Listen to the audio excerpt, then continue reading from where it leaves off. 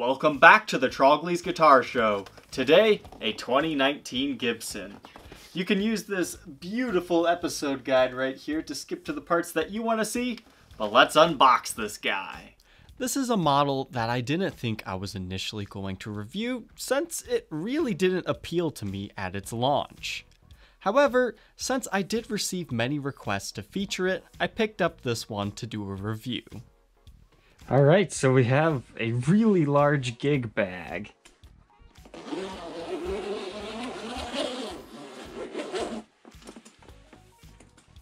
Ooh. It's the Explorer 2019 Tribute model. So essentially, the main gist of this guitar, it is a less expensive Explorer that is a tribute kinda to like the 80s versions with Dirty Fingers Plus pickups. Case candy wise, we have the pre-pack checklist, warranty, the baby photo. Looks like we've got a strap, warranty information, owner's manual, polishing cloth, which apparently stains your guitars, and yeah, I guess these guys don't get a multi-tool. You just get a crappy little truss rod adjustment tool. So first impression here, um, you know, the fretboard definitely needs some conditioning here, as they usually do. It's a really thin neck profile, but I like the finish on this thing. It's not quite a full gloss, but at the same time, it's not quite what I would consider a satin finish. It's kind of a nice in-between, and I don't see anything to really complain about at this time, and I love that mother of pearl logo. But let's go ahead, throw it on the workbench, and take a closer look at the detailed specs before we get into the playing demo. When the Explorer was first released in the late 50s, it was introduced with a Korina body and neck. While not successful at first, these really picked up in popularity around the 70s and 80s, and Gibson re released them in 1976 in a limited edition run, which then led them to be made throughout the rest of the 70s and 80s. Around 1984, a new style of Explorer with alder body and dirty fingers pickups were introduced. Alright, I've got it prepared to look at its parts now. The pickups that are stock in the Explorer Tribute are the Dirty Fingers Plus. These are hot ceramic pickups that are wax potted. You can see they also have the patent applied for decal right there, right to the side of these. So the neck is called the rhythm, and then obviously the bridge position, the lead. As far as pickup readings within the circuit, the bridge is ohming out at about 16 k ohms, and the neck is a little less hot at about 15 and a half and then in the middle position around 8. Within the pickup cavities themselves, you can see you've got a nice long neck tenon here. I didn't see anything too strange going on here. And then the bridge pickup route. What I thought was interesting is this doesn't seem as deep as a regular Explorer. But you can see it has some sort of model marking. I can't quite read what it says because the black paint is over it, but it likely means, you know, the Explorer Tribute 2019. And the outsides of the pickups also read Dirty Fingers Plus on the bottom bobbin. Another thing to notice is you have two rows of adjustable pole pieces, so you can adjust that. Something I was really curious about this model was if there was actually going to be routing for a pickup selector switch right here as you would normally see on an Explorer. Because generally you have like two volumes and a master tone and your pickup selectors right here. This model it has a master volume with a master tone, and right here is your pickup selector switch.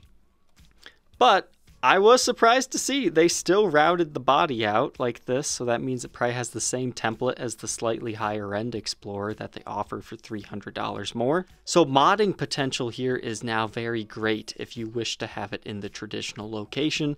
You just gotta route a little spot out of your pick guard. So that made me happy to see. The bridge and tailpiece are standard advanced plating incorporated parts.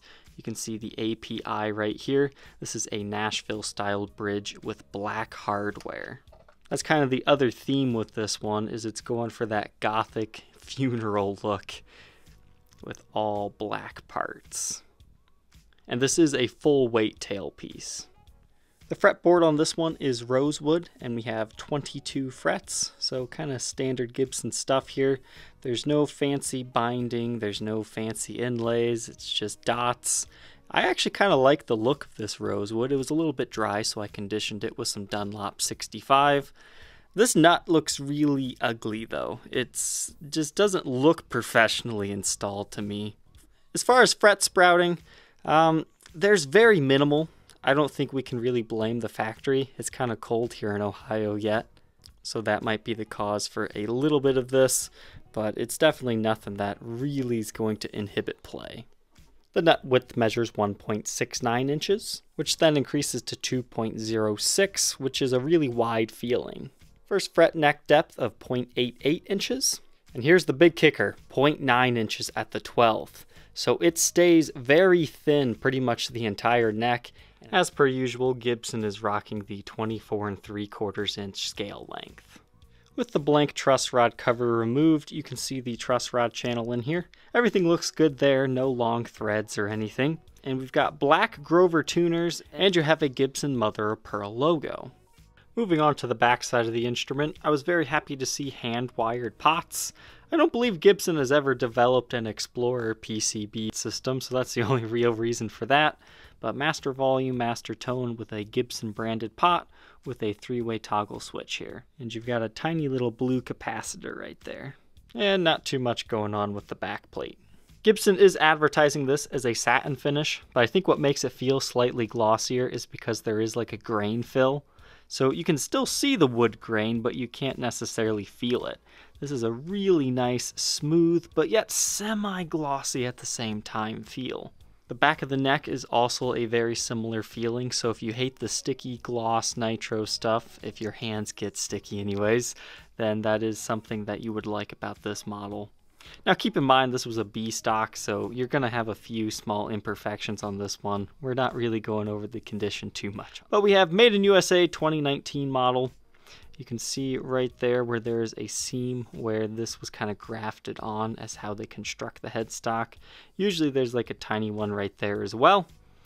And here is our serial number 19, meaning 2019, and then that's the production number for this year's model. This example weighs 7 pounds 10.3 ounces. Now that we know the complete specs of this instrument and have fresh 10 gauge D'Addarios on here, let's go ahead and hear how this one sounds. So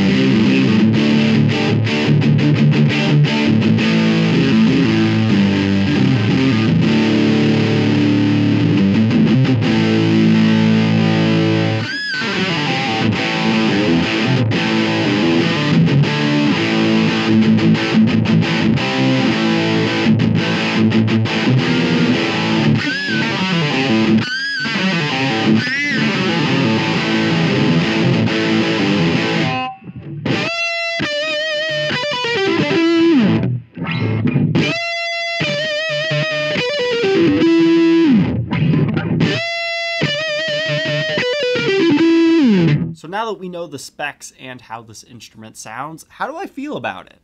I honestly was not expecting to like this guitar as much as I did. I mean, it's not necessarily what I normally go for. I mean, this is the whole blacked out vibe.